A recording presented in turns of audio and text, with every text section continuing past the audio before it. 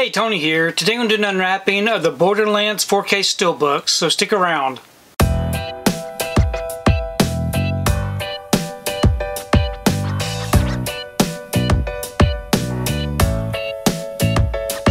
So today I wanted to take time to do an unwrapping of both of the Borderlands 4K Steelbooks.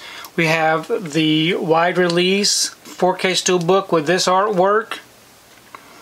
And here's the back. You'd like to read up on it, check out these special features, you can go ahead and pause and do so. And then we have this Walmart exclusive 4K Steelbook release with this artwork. And here's the back. If you'd like to read up on this one, check out the special features. It should be the same. But I'm going to go ahead and remove these from the wrapper and we can take a closer look at both of these steelbooks. So I've got the wrapper off. I'm going to show you the wide release first. Here's the front of the steelbook with the slip. And here again is the back.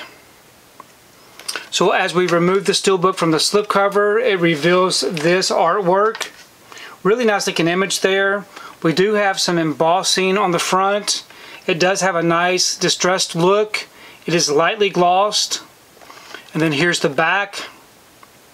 So as we open it up, we have our front and back together.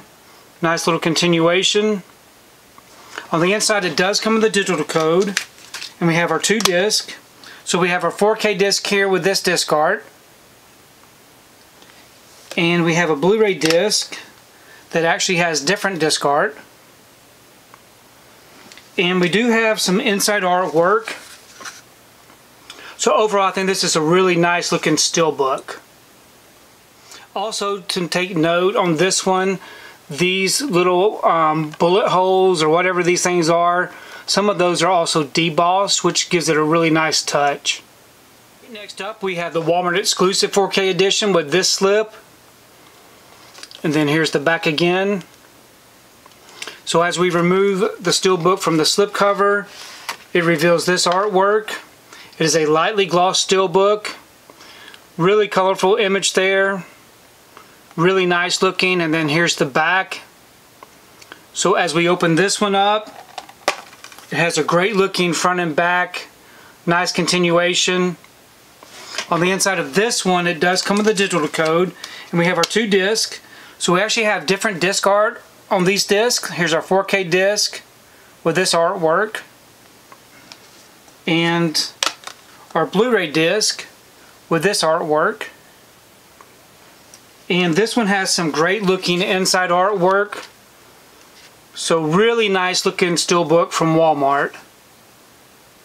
And just as a side note, this one right here is very lightly glossed.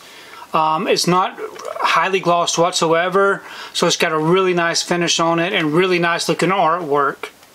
So I'm very happy that I was able to add both of these additions to the collection. I did not see Borderlands in the theater.